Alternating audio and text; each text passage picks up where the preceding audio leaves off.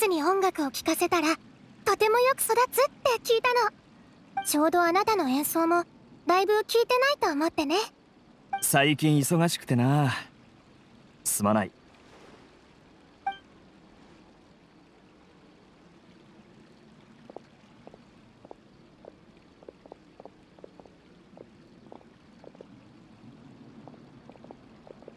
おや送信様ではありませんか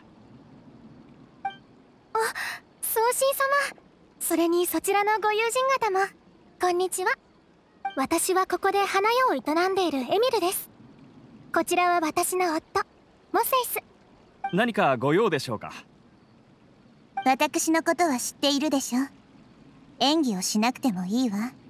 それともあなたのことを夢の主と呼んだ方がいいかしら。なるほどさすが送信様だ。悪いなエミル。俺の研究が送信様の注意を引いてしまったらしい。先に花屋に戻っててくれ。後で一緒に花の手入れを手伝おう。ええ分かったわ。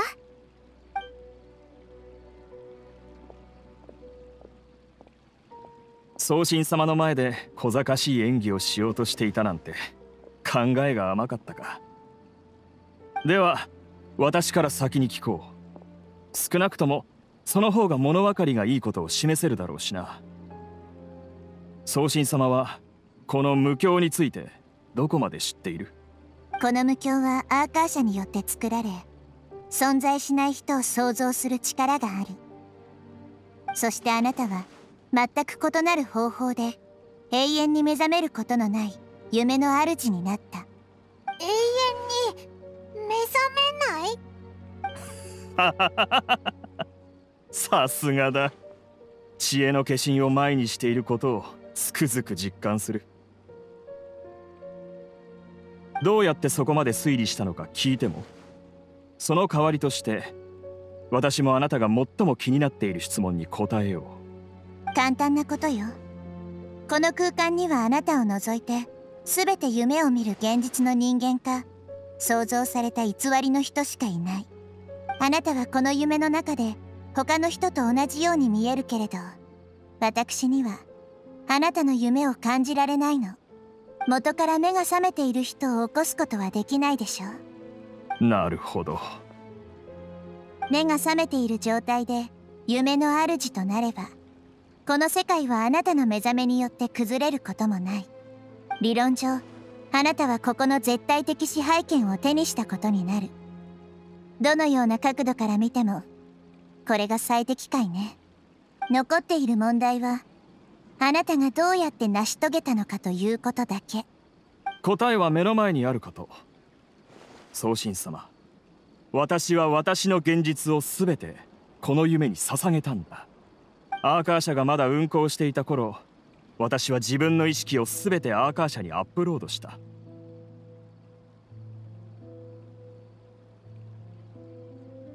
実はこれはある事故のせいでね。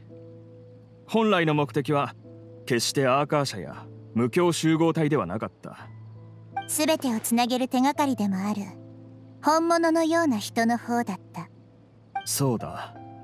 人間はあまりにも複雑であるためアーカー社の強大な知能を利用する以外にそれを実現する他の方法私は思いつかなかった。アーカー社の規模は仮に私が少しだけ利用しても誰も気づかないほど大きなもの。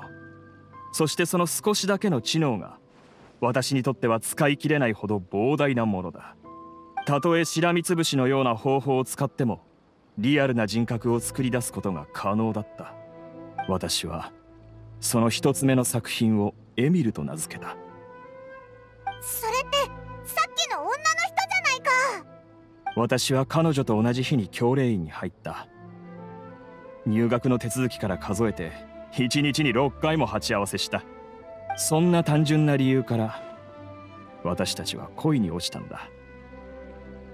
共に学習と研究をし一緒に成長していったよ全く同じ歩調で歩んでいた私たちは体は別々でも心はつながっているように感じた。しかし彼女は命を落とした。マリン病によってな。エミルの人格をより完全なものにするためにもさらなる学習サンプルが必要なんだ。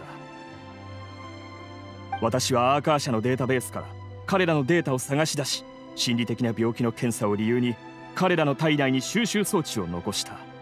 それにより彼らをネットワークにつなぎエミルに彼らの思いを感じさせることを可能にさせた。エミルはそれにより成長し性格もより人間味のあるものになっていった。研究に全力を注ぎ効率を上げるために私は意識をアーカー社へとアップロードしネットワークの一部となった。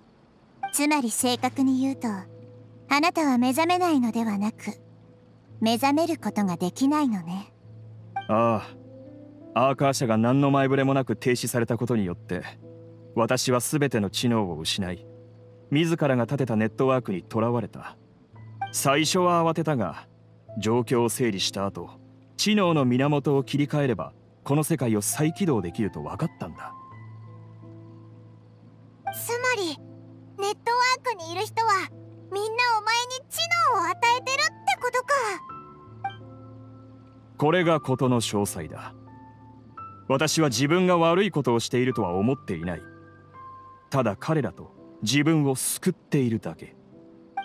彼らに良き夢を与えその代わりとして彼らから知能を提供してもらい無教の燃料にしている。彼らは目を覚まそうとすればいつでも覚めることができる。しかし人は元から眠りが必要だ。どうせなら美しい夢を見続けた方がいいだろう？私もそう思うわ。ここは私たちがやっとのことで作った家なの。うんその通りだ。俺たちは自分でここに残ることを選んでる。よくわかりませんが私は二人ともっと一緒にいたい。二人が悲しむ姿は見たくありません。ありがとうメイナ宗神様。どうか私たちを理解してほしい。みんなそう慌てなくても大丈夫だ。宗神様は民を理解し愛している。我々の自由を妨げたりしないだろう。おい卑怯だぞ。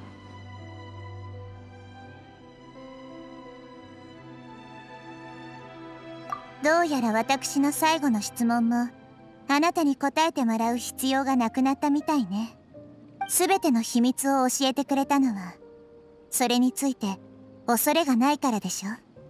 なぜなら民を武器にして彼らの神に突きつければ神はなすすべがなくなるもの。彼らはただ大切な人とずっと一緒にいたいだけ。私はそのチャンスを与えているに過ぎない。何も間違ってないはずだ。愛する人と別れたくない。親友と再会したい。これの何がいけないという。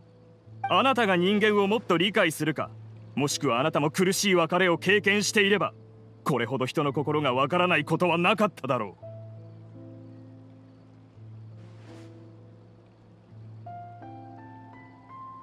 その才能と覚悟を正しいことに使っていれば新たな世代の賢者にもなれたかもしれないわね。残念なことにあなたの恐れを知らずに王妃を発言するほどの傲慢は教霊院の六罪の一つを犯してしまった。あなたは人間の感情と冷徹な知能を等しいものとし彼らが直面すべきだった痛みを剥ぎ取りそれを隠した。彼らが沈臨するよう誘導しそしてその悪行に全くの自覚がない。痛み？誘導？そんなもの。ここが想像された時から存在しない。いいえ存在するわ。アイルマンの娘ヘイデルよ。娘がどうしたんです？この無教は規定のネットワークを頼りにしている。言い換えれば体内に装置を植え込まれた人のみここに入ることができるの。あなたの体験したことを詳しく思い返してみて私はヘイデルを連れてこっそり丘に戻りそこにはメイナーが待っていてヘイデルも母親に会えて、はあ。ヘイデルは？ヘイデルではない？ええ。彼女はあなたと同時に無境に入ることはできない。あなたが夢に入った瞬間無境はヘーデルを想像し娘を母親に会わせるというあなたの願いを実現した。それで本物のヘイデルはどこにいると思う？まだ丘に取り残されて。そう。父親が急に気を失い意味のわからないことを言い出すのを見たら彼女はとても怖いと感じるでしょうね。しかもそこには魔物も出没する。とても危険よヘイデルはまだそこにいる。だったら。パパ何言ってるの？全然わからないよ。すぐに目を覚まさなければ。ヘイデルを一人きりにはできない。ええ。みんな何かを思い出したようね。自分を守るため人は苦痛から離れ安らぎを抱こうとするそれは人間の本能であり弱点の一つでもあるわ。だったらなぜそれでも多くの人が危険を承知で前へと進み苦痛を承知でそれに立ち向かうと思う？人は自分だけのために生きているのではないからよ。彼らには家族が愛する者が友が家がそして未だに実現していない人生の理想がある。しかしあなたは最も安楽なものだけを彼らに見せ見えない苦痛の上にあなたの無境を築き上げた。そんなの巧妙な詐欺に過ぎないわ。確かに夢の中に長いこといるな。やるべきことがまだたくさん残ってる。神が不完全な世界を作り無数の整理死別を生み出したのは人を理解していないからだと思っていたがまさかあなたが答えを見出すことができるとは。しかし残念ながらそれも無駄なことだ。目を覚ましたければ一時的にそうすればいい。ちょうど私もエミルと少し二人だけになりたかったからな。この夢が存在する限り全員戻ってくる。人はあなたが思うほど強くはないしあなたが神だからといって何にでも従うわけではない。そろそろ余計なデータとノイズを片付けなくてはな。気をつけろ魔物だ。全員すぐにここから離れて安全な場所へ行って。私こそがこの無境の支配者。無数の魔物を想像するなど造作もない。安心するには傷を負う前に目が覚めるだエミルは誰かが傷つくのを見るのが好きではない。だからおとなしくしてもらおうか。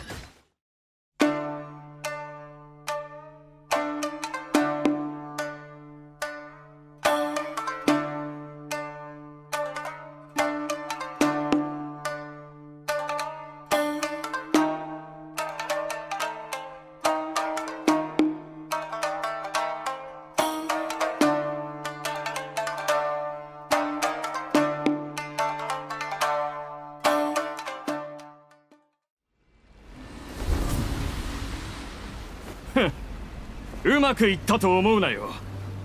これは私の夢だぞ。私が隠れようものならたとえ神でも見つけられない。人々が幸福を渇望する限り彼らはここへ戻りこの楽園を再建するのだ。逃げるな！何が起こったんだ幻想が突如崩れ制御できなくなったのね。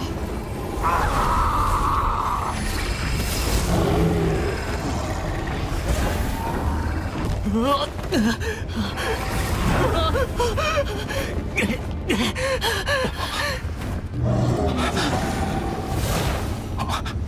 ずい。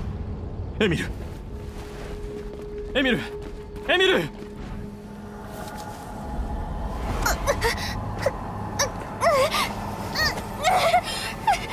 大丈夫か？エミル。や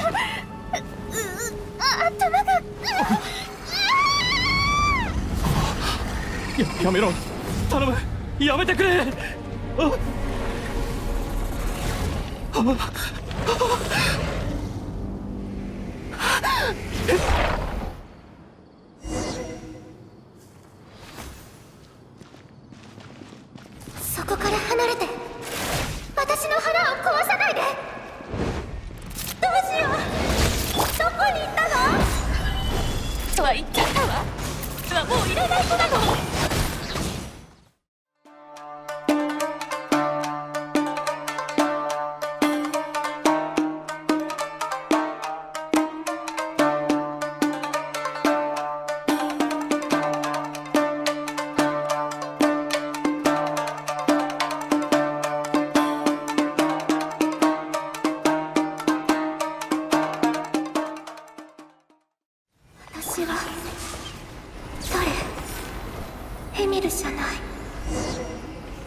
私は。やっと終わったぜ。さっきは何が起こったんだ？彼はまだアーカーシャ技術に対する掌握が完全なわけじゃない。魔物の創造に大量の知能を使いシステムを制御できなくなったのね。そして創造された人までもが魔物となった。もちろんエミルも例外じゃないわ。たとえ夢だとしても。残酷すぎる。オイラから見ても怖いって思ったほどだしあいつらは余計。でも幸い混乱はすでに収まったようね。あとはここの人を目覚めさせ現実に戻らせるだけよ。エミル。私のエミル。全てがなくなった。全てが夢に終わった。運命には抗えない知識には頼れない。この世界はあまりにもひどすぎる。まだ私たちのせいだと思っているの？そんなのはもう重要ではない。無境の運行を維持する知能が全て魔物になった以上ここはもうじき崩壊し私の意識も消えるだろう。エミルと一緒に行かせてくれ。たとえ灰になろうとも私は。目を覚ましたくない。ショックを受けすぎて絶望してるみたいだ。エミルが魔物になった瞬間を見た彼にはもう十分と言えるほど精神的な罰を与えられたと思うわ。虚無について深く理解した後はそろそろ存在の意義を振り返る番ね。存在？私は彼らとは違う。とっくに意識しか残っていないんだ。私のアーカーシャに対する理解によればあなたの意識をここから抽出し知識の容器に入れることは可能よ。教霊院は今もあなたの体を保管しているはずだからすぐに目を覚ますことができるはず。必要ない。このまま消えさせてくれ。もはや現実に価値なんてない。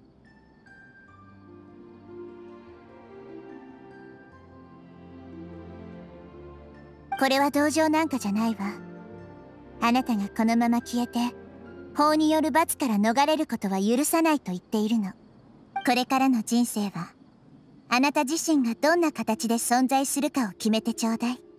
さて旅人にパイモン私たちもそろそろ帰るわよ。この件に対して全ての終止符を打つために。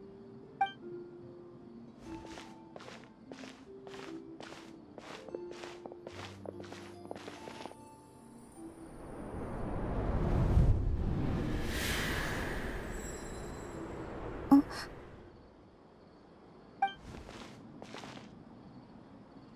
かしたのか？何でもないわ。ここの人たちに。目を覚ましたらモーメント・オブ・ドリームの会場に集合するよう伝えましょ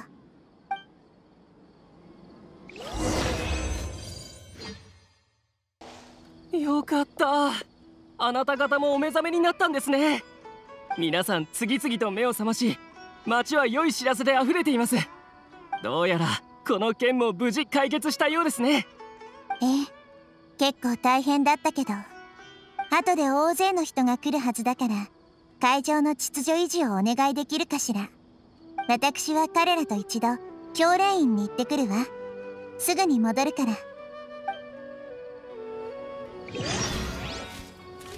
の学者の状況を聞きに行くんだよな。ええ。でも意識が体に戻った後目を覚ますには少し時間が必要なの。後のことはマハマトラに任せるといいわ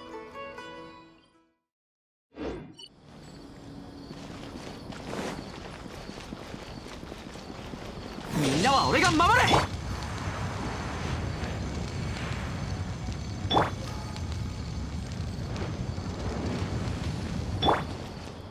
冒険だぼ！送信様どうなさいましたか？学籍情報を調べたいの。クシャレワー学院の学者で昏睡状態になっている人はいないかしら。かしこまりました。少々お待ちくださいお待たせいたしました送信様。確かにそのような学者が一人おります。名前はベノニ。アーカー社の違反操作により昏睡状態に陥っています。現在に至るまで意識は回復しておらず今もなおビマリスタンで治療を受けています。え？モセイスって名前じゃなかったのか？正体を隠すためだったのでしょう。誰にも邪魔されたくなかったのね。ここに保存してある知識をマハマトラに渡してくれるかしら。これをベノニの脳へ導入するよう頼んでちょうだい。かしこまりました。ただ安全性の考慮から理由についてお伺いできますでしょうか。簡単なことよ。この中にあるのは彼の意識。以前まである無境にとらわれていたの。彼は無境の中でスメールの治安に影響が出るようなことをした彼が目を覚ました後私から大マハマトラに状況を説明するわ。かしこまりました。すぐに取り掛かります。ありがとうございます。草神様。うんうん。礼はいらないわ。モーメント・オブ・ドリームに人が集まっているでしょうしそろそろ戻りましょう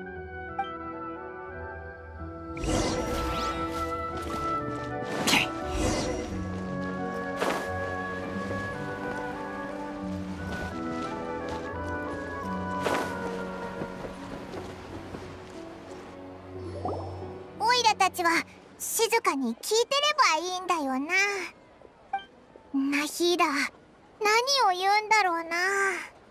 先ほど目を覚ました人たち。こんにちは。あなたたちの心地よい夢の邪魔をしてしまって本当に申し訳ないと思っているわ。無境の中での対応も少し冷たいものになってしまったかもしれない。本当にごめんなさい。無境にはとても不思議な力がある。強い心を持つ人に対しては心を奮い立たせ理想に翼を与えることができる。でも同時にその状況を利用して認識を混乱させ是正をひっくり返すこともあるの。不幸にもあなたたちはその獲物に選ばれてしまった。前にも言ったように私もまだまだ学習途中で離別の苦しみを共感できると言えるほどではない。でもここに同じような経験をした人が少なくないことは周囲を見ればわかるわ。あなたたちがここに集まり共に未来へ向いていること。誇りに思ってちょうだい。生命という道はとても長くその終点を見透かすことは難しい。そのせいで私たちは多くの疑問を抱くかもしれない。生きている意味は何？目標は何？どうして苦痛を味わい続けなければならない？確かに足を止め考えることを放棄し慣れ親しんだやり方を繰り返すことは最も簡単な選択よ。でももしもそのような考えが頭に浮かんだら身の回りの人と物事に目を向けてみてほしいの。一日中頑張って働く人がいるのは家族に温かい晩ご飯を食べさせたいと願っているから世を渡り歩く人がいるのはテイワット中が共感できる芸術品を作り出したいと思っているから世界の秘密を探す人がいるのは迫り来る名状しがたい災難を防ぎたいと考えているから自我は生命の意義の全てではない。一つ一つの行動こそ自我と世界を作り上げるものなの。家族や友人はあなたたちの行ったことを覚えているし見知らぬ人だってあなたたちの行動から恩恵を受けるかもしれない。だからこそ苦しみに耐えてでも新たな道を切り開こうとする人がたくさんいる。そしてあなたたちが同じ道を歩んだ時それら究極の質問の答えは少しずつ見えるようになりそれと同時に重要ではなくなるの。だけどもしもあなたたちが生命を虚無だと思ってしまえばそれは本当にだんだんと虚無へ向かってしまう。あなたたちには生き方を選ぶ自由がある。でも私は神として先にあなたたちの目を覚ます必要があるの。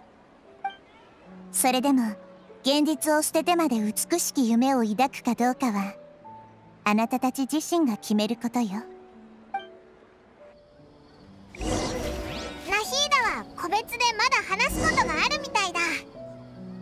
教練院前の広場に行ったみたいだぞ。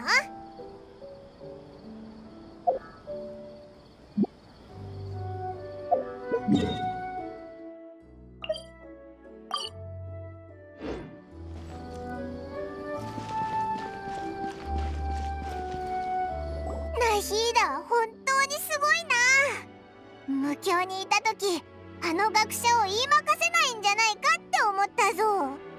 彼は人間性の弱点を利用することに長けていたわ。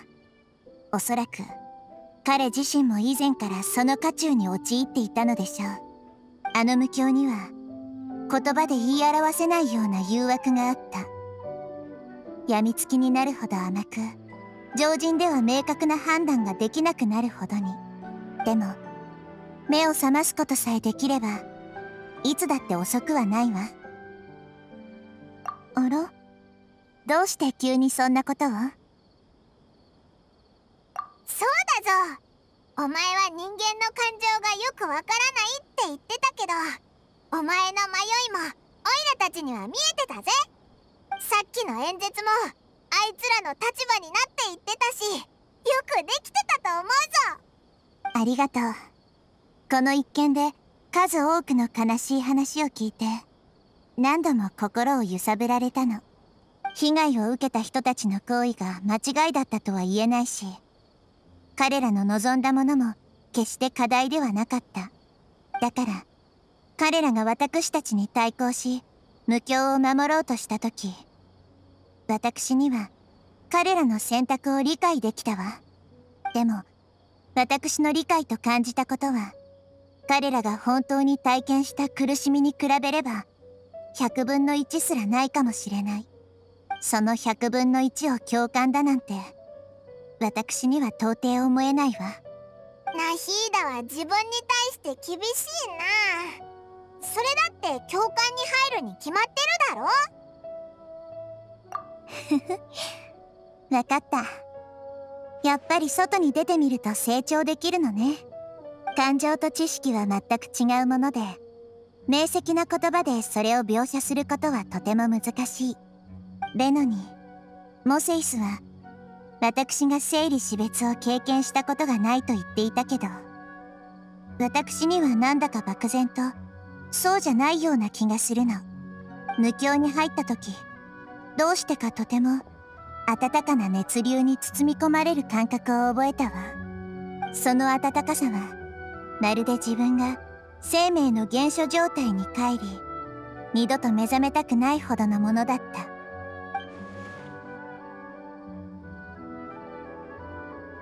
でも再び目を開けた後その感覚は消え何の痕跡も残っていなかったの。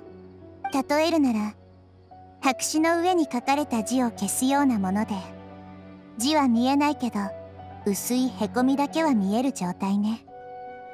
あの無教を経験した後さらにはっきりと分かったわ。あの熱流が何を意味しているかは重要じゃないって。ただ確かなのは私はかつてその温かな力によって支えられ今日まで来れたということ。その温かさがどこから来るかに過度にこだわるのは本末転倒というものよ。さっき民たちにあれだけ多くの理想を語っておきながら結局は自分もできないだなんて。そんなの面目丸つぶれじゃない。ど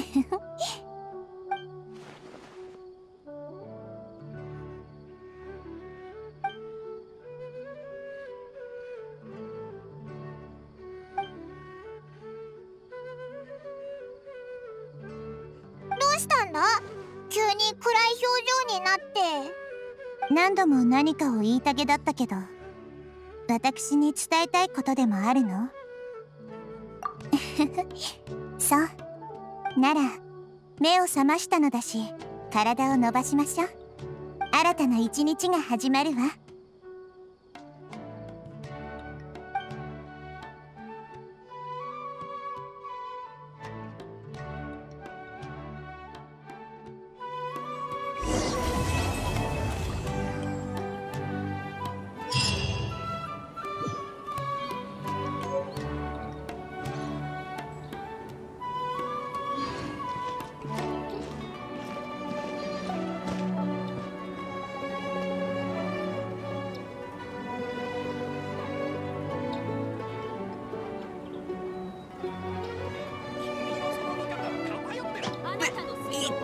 ってって。